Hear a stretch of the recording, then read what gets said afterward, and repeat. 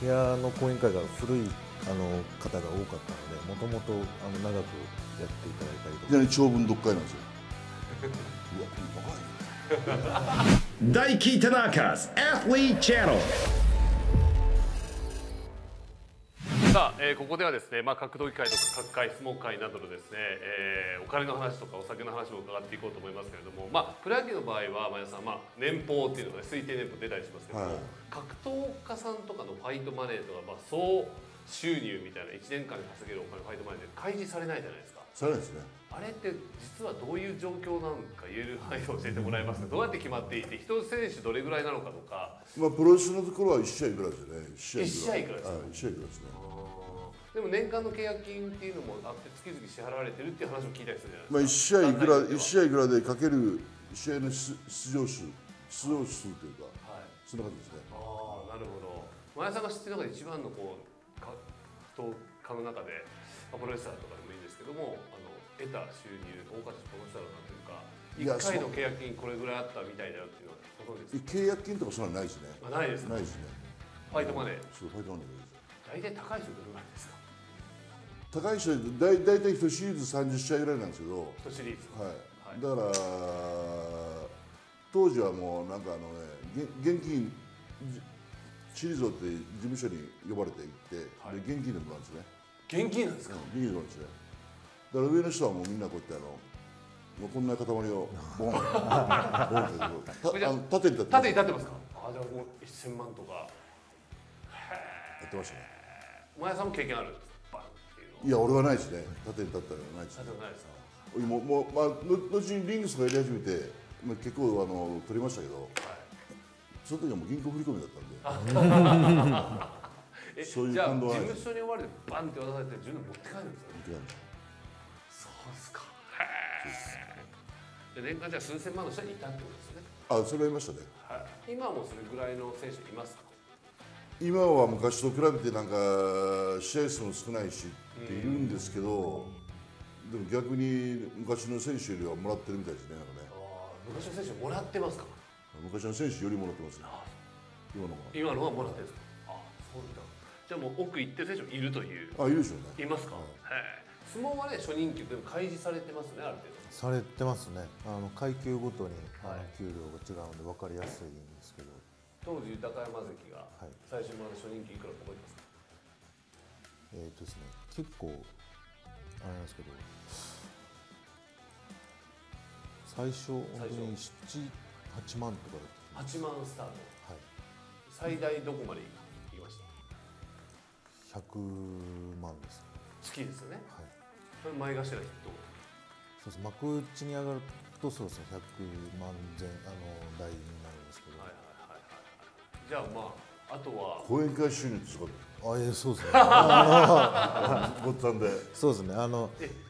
僕らのでももう一昔前のっていう話をいろいろ聞いたりしてたんであのあれだったんですけどまだ僕らの時もあの周りの方々にそういうあのいろいろいただいたりとか。まあ、スポンサー金ですよね。そうですね。講演会という。で豊山さんも講演会があって。はいもありましたしあの部屋の講演会が古いあの方が多かったのでもともとあの長くやっていただいたりとか。時津風部屋の講演会が。そうですね。あのなんであのいろんなものが動いてますね。いろんなものが覚えてる 数千万レベルの。あえそこまでは多分僕らのレベルじゃないんですけどプロレスもあるんですか？講演会システそしたらもう猪木さんたちの時代ぐらいまでですね講演会あったんでね、でんのああの辺の世代の人たちはあったけどその下は講演会っていうのはなかったですよね、ムは、まあ、でも格闘技界っていうのはもっとお金稼げてもいいんじゃないかなと思うんですけどどうですか？そうですね。そう思いますね、まあ年間試合ができる数がまあ少ないっていうのも大前提あるじゃないですか、もっともらえてもいいんじゃないかなと思いますけどね、だからもうあの後に自分で団体畑しはもうリングスとかやってましたけど、はい、い、やー新日本プロレスは儲かったんだなっていうのをね、もうあのす数字上でね考え売り上げですか、て、はい、もうねいやこれはもうもう猪木さんなんてもうとんでもない年収本当はとんでもない年収だったんだなって思いますね。とんでもないでどれぐらいなんですかね？あのねこういう話あるんですよ。長嶋さんが昭和33年だから34年に巨人軍と契約して、はい。はい。1500万とかはい。契約金が、はいで当当時月給が1万8000円とかもう3万円もいかない頃ですよ。はい。で 1500, 1500万だから。一般サラリーマンの皆さんの平均月給がでそれでわあすな野球選手すごいなって言ったけどその時あの馬場さんがこう葉巻加えながらこうやって野球って意外と儲かんないもんなんだ よ元野球選手が言ってると説得力ありますね。あそうですか。だからねあのー日本人で初めてアメリカンドリームを完成させたっていうのは野茂だって話あるじゃないですか。はい。違う。馬場さん。です馬場さん。あの俺あのはっきり断言しますよね。多分馬場さんは全日本プロレス旗揚げした頃は間違いなくキャッシュ30億以上持ってましたね。キャッシュですか？間違いなく持ってましたね。30億以上。はい。個人の活躍で得たお金ですか？だ馬場さんって馬場さんはねアメリカでもねあの日本人のトップヒールとして各テリトリーのメメもうメインロード行ったんですよ。でも1試合の遠征でもすごかったってことですか？いや週休でしょ。週休。週休で1ドルさ週休。1ドル1ドル360円の頃に週休で4万5万って言ったでしょ？多分4万ドル5万ドルと。週で。ってことは月で25万ドルかける360円なんですね。で全然レレベルが違いますよ初代アメリカンドリームは馬場ジャイアント馬場さんでしたそうです。はいわかりました。ありがとうございました。板野さんはい。いかがでした？前田さんとお話しされてみて。いやもうあのもだいぶ緊張されてますうよね。終始圧倒されすぎだっててあの大相撲中継の解説にいらっしゃる時はだいぶ緊張してますもん。そうですねあのじゃあねはい。年はいくつなの今年30なんですよ。まだあの俺の息子でもお前じゃないね。あ。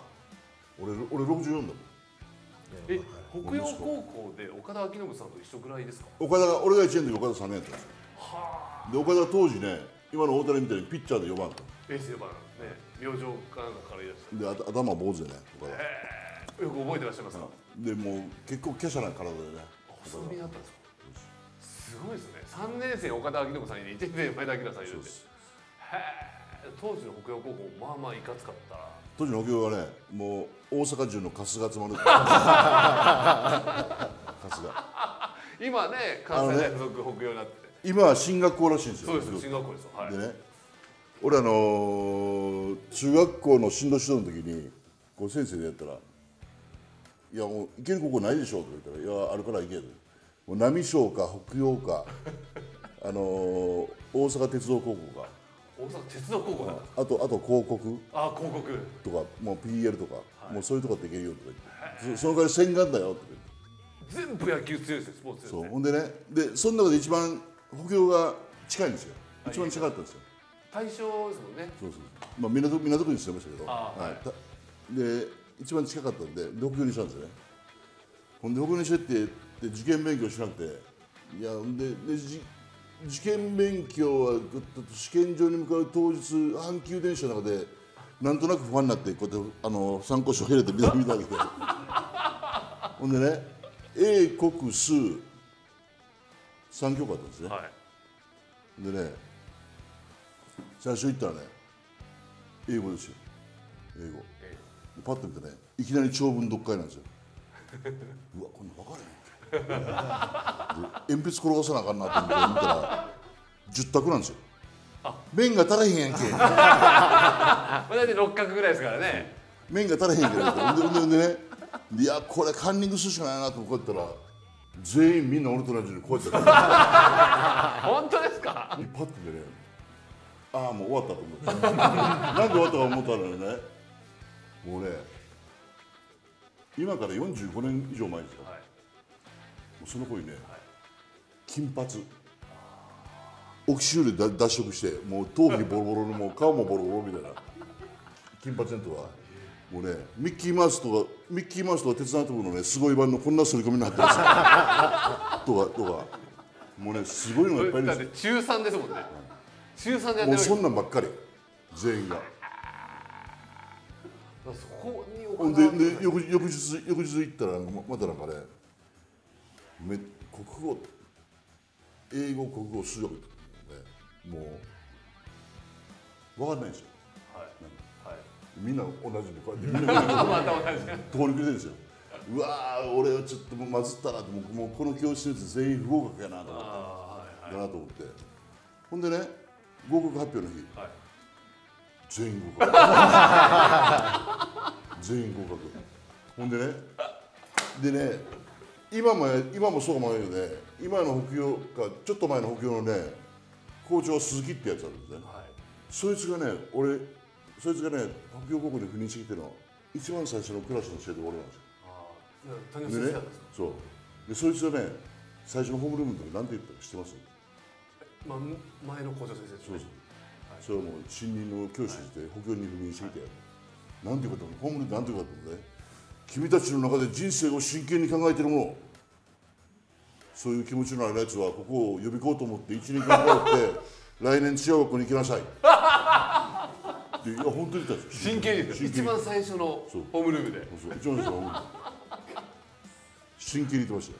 その時どう？前田青年はどう？なんだ高校でちょっと真面目に勉強してせ勉強したら何とかなるんかなと。また別のねが大学でも行けるんかなと思って話やっちゃうじゃないですかいやそんなんですよ。えーちょっと北洋高校で一本お願いしてもいいですか？はい。北洋高校。今もう大進学校です。でしょ？大阪でも人気のはい。ありがとうございました。もう前田さん本当に平川さんどうもありがとうございました。また来てください。ありがとうございました